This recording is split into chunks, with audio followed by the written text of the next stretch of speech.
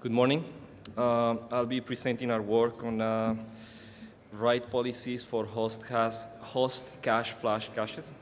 Uh, uh this is a joint work by uh, Ming Zhao, Raju Rangaswami, Leonardo Marmol, and Ricardo Koller from FIU, and uh, Nisha Talagala and Swaminathan Sundararaman from Fusion.io. Well, uh, typically, uh, virtualized environments are deployed on clusters of hosts connected to centralized network storage. But recently, there has been a trend towards more uh, degrees of consolidation. And uh, in order to, to reduce the load on, uh, on uh, network storage, um, many cloud providers have started to consider using locally attached flash as caches. However, Several researchers have recommended the use of uh, write-through caches and not write-back caching because of, uh, of the danger of using write-back in, ca in, case of crashes. Um, before we start and to put things into context, uh, this is the architecture that we are referring to. We have an application or an application on top of a VM using an OS or a hypervisor. This is in a single host uh, with a locally attached uh, flash and all of this connected to network storage. And uh, in this paper, we assume that uh, LUNs are not shared by more than a host, and uh, more than a single host, and we don't assume uh, failures at the network side, only at the network storage side. We only assume uh, failures on the host. this is the outline of the presentation. I'll start showing some performance data that motivates the use of write-back caching. Then the two proposed write-back policies that we we showed in the paper. Um, then some consistency analysis, uh, and finally uh, performance evaluation, uh, summary and conclusions. so the, the advantage of caching a read is, uh, is unquestionable. Uh, by caching a read, we get a better performance and no possible, performance, uh, no possible consistency risk. However, the situation with writes is a bit more complicated. One option for writes is to use a write-through policy where writes go synchronously to the network storage and to the, to the flash before being uh, notified to the application as completed. And another option is to use write-back where uh, writes go to the flash cache and then uh, application is uh, immediately notified of completion. And uh, writes to the network storage are just delayed or possibly lost in case of a crash. So just for, from this figure, it's not obvious whether uh, write back is going to perform better. For once, uh, we, have, we can see that uh, write back will have less latency for most writes, but uh, possibly we are adding an extra read because the block might not be on DRAM anymore. And in the worst case, we might just be delaying the, the, the writes to network storage and not actually, and not actually reducing them. So to see the actual benefit of using a write back, we performed a simple experiment.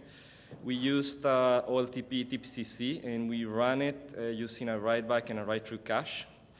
Uh, we used a cache of uh, size approximately 80% of the working set size of, uh, of TPCC.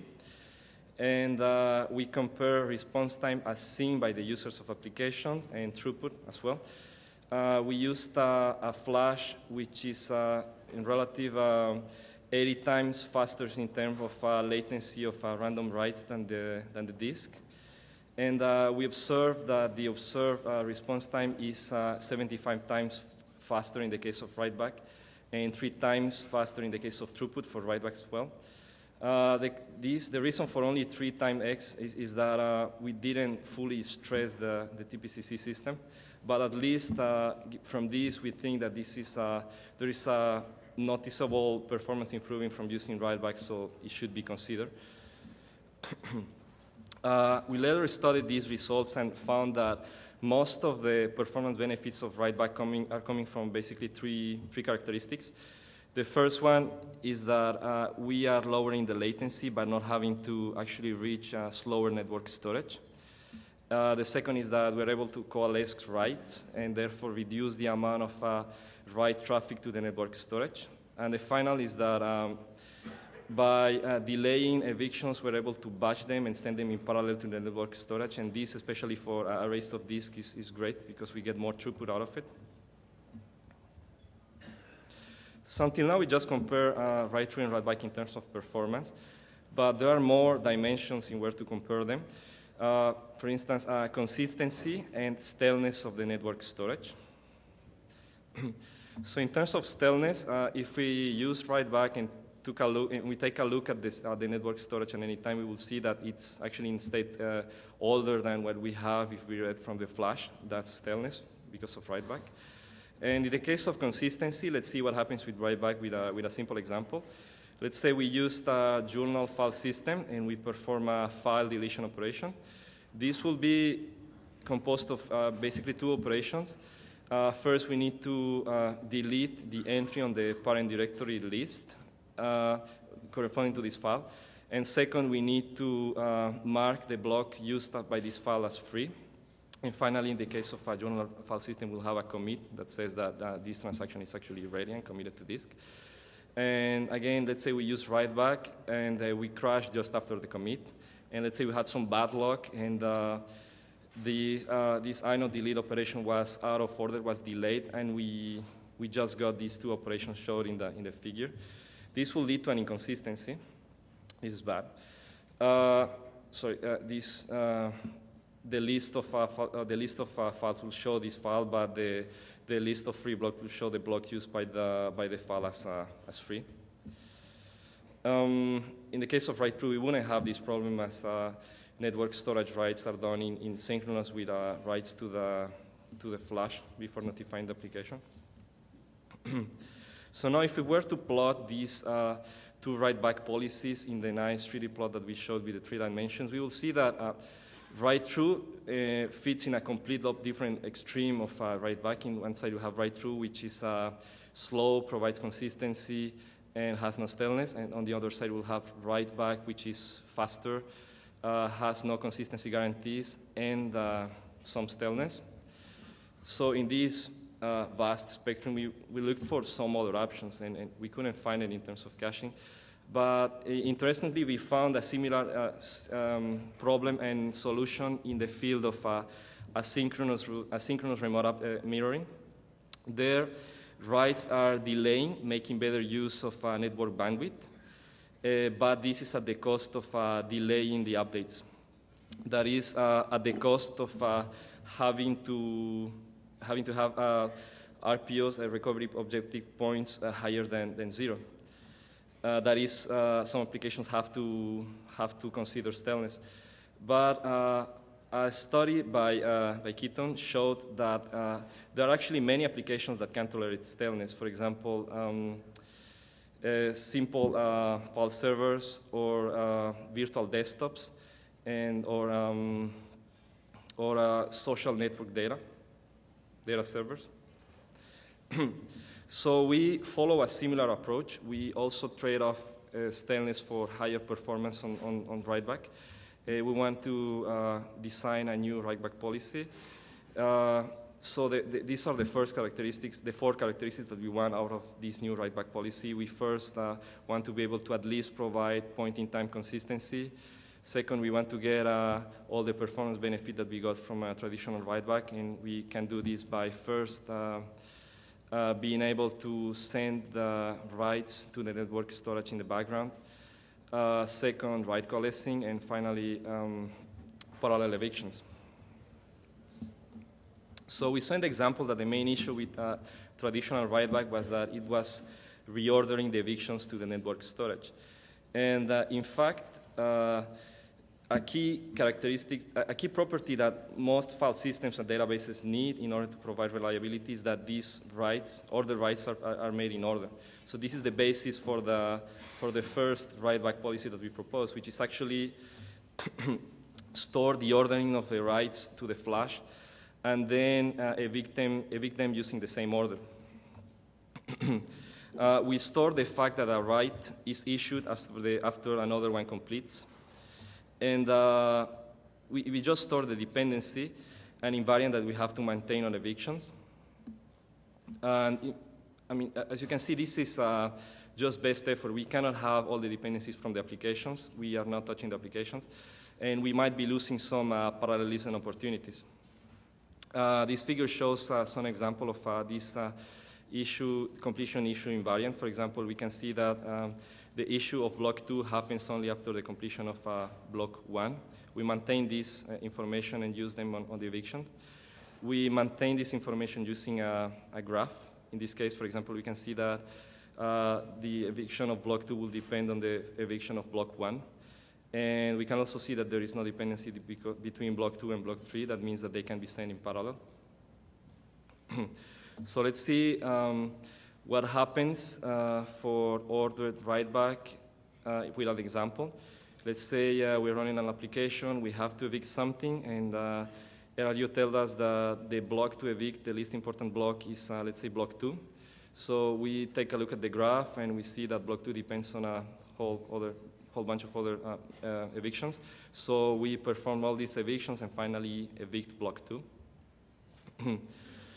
and this example shows uh, a big problem with this approach, which is that in this case, as you can see, block two has to be evicted twice, and even worse, it has to be stored twice. So there is no write coalescing in the case of uh, ordered write back. And uh, this can be solved with a, with a simple solution which is to evict all, these, all of these blocks atomically using a, a write group interface similar to, to what is described in the logical disk, logical disk work. And uh, in this way, everything before the transaction is, is consistent, everything after the transaction is still consistent, and we, if we crashed in the middle of the transaction, we just uh, discard the, the uncommitted transaction. Uh, we implemented this in uh, journal writeback by using uh, journal uh, on the network storage. In this case, a host will start a transaction, uh, send a group of writes to the network storage, and finally a commit. And then the network storage in the background will checkpoint these transactions to their final position on, on, on disk. And in this case, uh, if, for example, we just crash in the middle of a transaction, uh, transaction uncommitted transactions are just uh, discarded. So um, until now, I'll be, I've been describing um, failure on the host side where the SSD cannot be recovered, cannot be recovered. But what about the case where we can actually restart the host and read all the content that we had in the, in the flash? So what we really need is just uh, a mapping between the network storage blocks and the blocks in the flash. But we cannot take the luxury of actually uh, writing a mapping operation at every new write allocation. So we group writes in uh, transactions, and uh, at, commit, uh, at the commit, we just write the ordering with the commit block. Uh, we refer to both these two um, journals together as the journal write-back policy.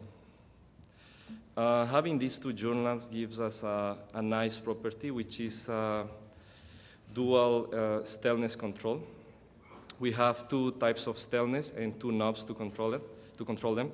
One type of staleness is uh, the staleness that occurs when the host uh, crashes and the SSD is recoverable. This staleness is controlled by the frequency of commits on the host side. That is, uh, how large are the transactions in the host side.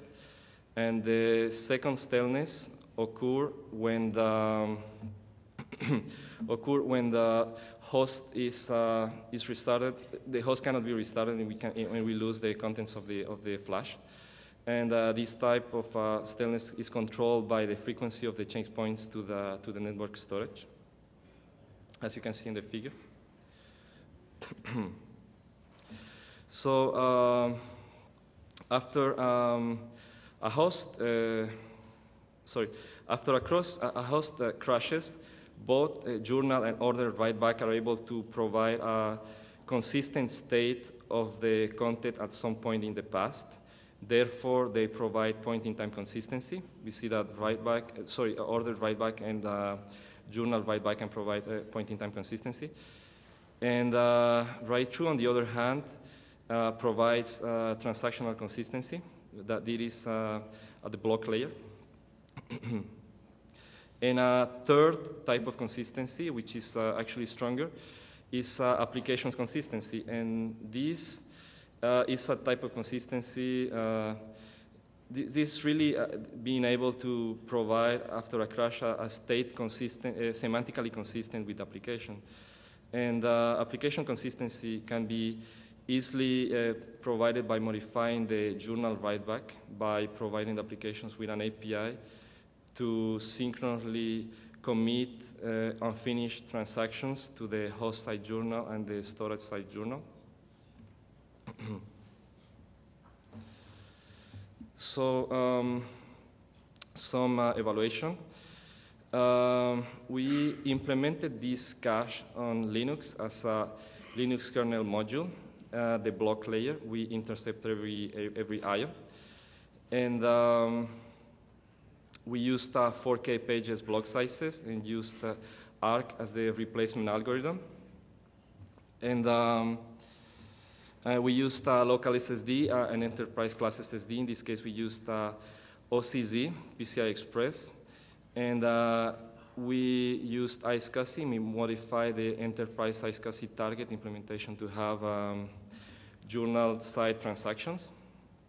And uh, we used an array of two disks at 7,000 RPMs.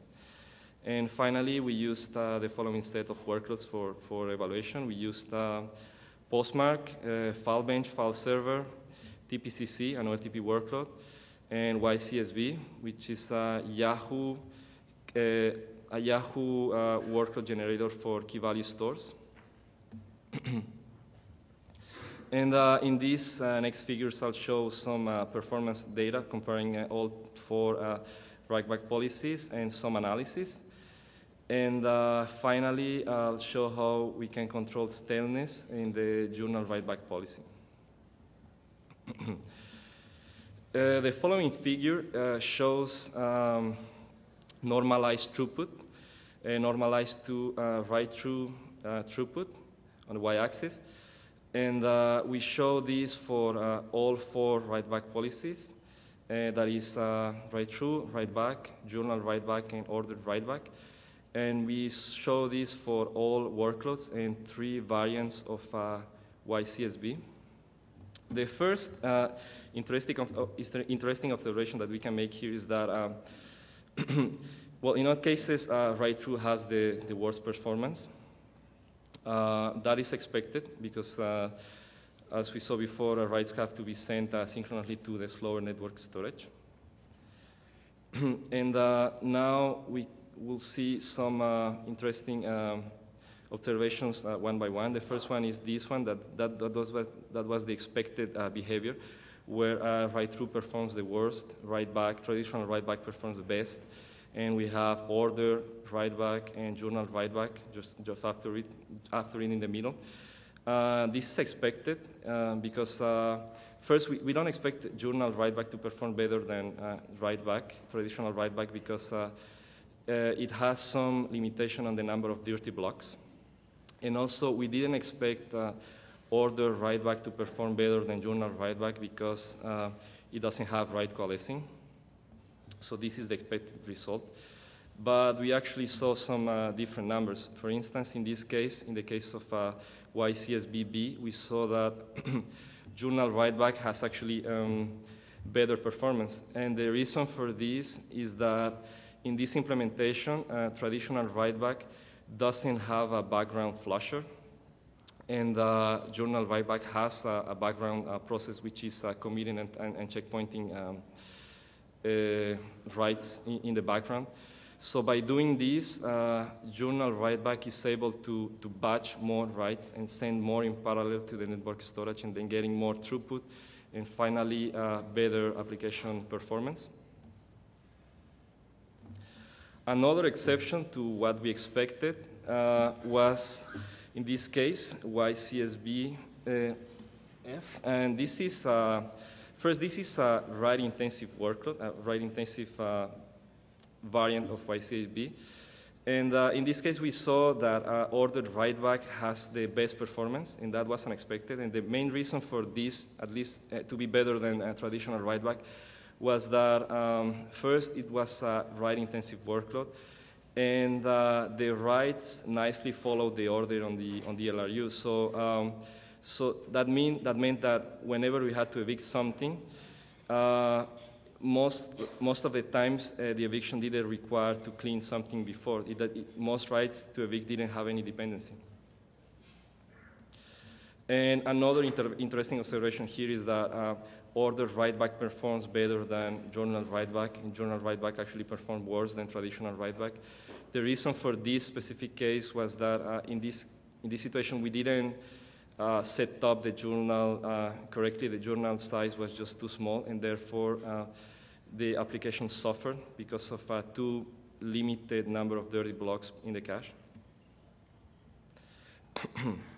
so now let's study uh, the performance of a file server Filebench in more detail. In this case, we have uh, performance as operations per second as we increase the size of the cache from uh, 0.5 gigabytes to 2.5 gigabytes. Uh, the first observation we can make is that there is a very uh, low uh, slope in the case of write-through. This is because this, uh, this workload was mostly write and write-through by not caching writes was not getting much benefit as we increase the size of the cache. Uh, now let's divide the observations first for the case where we have uh, a large cache sizes. And uh, it's important to notice here that um, the working set size of these applications was 2.3 gigabytes.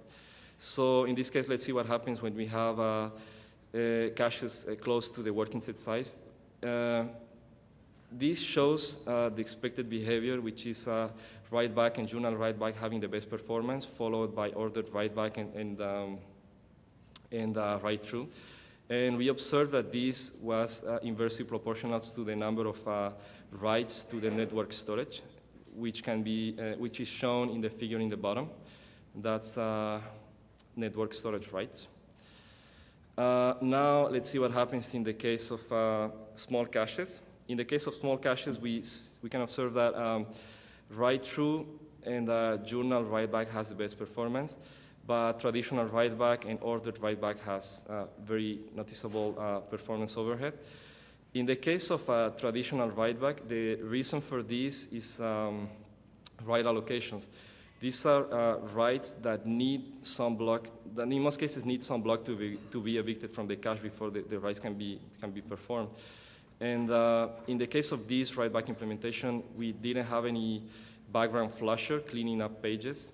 So in most of the cases, uh, these write-backs suffer from having to, to perform an extra write to the network storage before being able to, to write to the flash. And uh, this can be seen in the figure in the bottom, which shows the fraction of the writes that were write allocations. As you can see, uh, up to from, from 0.5 up to 5, uh, uh, up to 1.5 uh, uh, cache size, we see that there is a big amount of, of write allocations. And uh, these are impacting traditional write-back. And as you see, the, the point after where we get better performance for it is just after we have almost zero write allocations. And uh, well, and now for um, ordered write-back, the reason for it to perform uh, worse is that across the whole cache uh, range, the, across, the whole, across the whole figure. Um, because of uh, write coalescing, uh, ordered write back was, uh, was suffering, uh, was, had an overhead of uh, almost 200 operations per second. So that's why it's performing worse at this point than a write through. um, yeah, uh, well, the, then we perform a simple experiment to, to see how we can control performance by controlling uh, staleness. Uh, this shows how we are able to trade off performance for some staleness. In this case, we limit the, the transaction size at the network storage, uh, and we vary this from, from one to a large. Uh, in this case, um, 500 megabytes. in this case, we can see that we are able to, to control the, the, the throughput as something similar to write through, to something similar to write back. In the case of write through, it's because uh, when the, uh, the transaction is very small, let's say it was one, that means that um, we're really performing the way as write through is. Finally, uh, summary and conclusions. Uh, in summary, we, uh, well, in, in, this paper we saw that um, there are many dimensions to compare. Uh, in order to compare the uh, write policies, we showed that uh, write back and write through are just two extremes in the whole possible range of uh, write policies that there can be. Uh, we proposed three new uh, write back policies. One is ordered write back, in which we have a point in time consistency at some uh, performance reduction. Then journal write back, where we have almost no performance reduction, but uh, we have we need to modify the network storage to provide um, atomic group writes. And finally, we saw that uh, application consistency can be provided by modifying uh, journal write back to provide to, to get application hints. Um, thank you.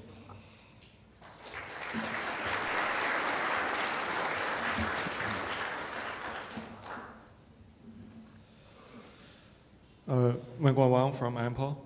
Uh, so in your ordered write back policy, you carefully maintain a dependency of writes depends on their completion time.